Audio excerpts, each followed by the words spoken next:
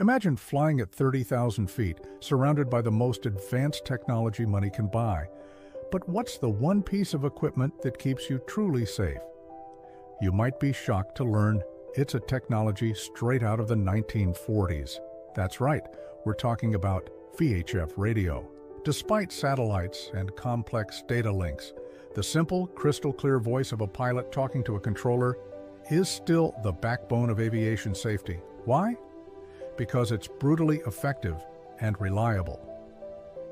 When digital systems fail or airspace gets crowded, this old school tech cuts through the noise. It doesn't need the internet, it's instant, and it allows for immediate human coordination in those heart pounding moments when seconds count. A calm, clear voice over the radio is what separates a close call from a catastrophe, proving that sometimes the simplest solutions are still the most powerful. Thanks for watching. If you love stories about hidden tech, hit that subscribe button for more.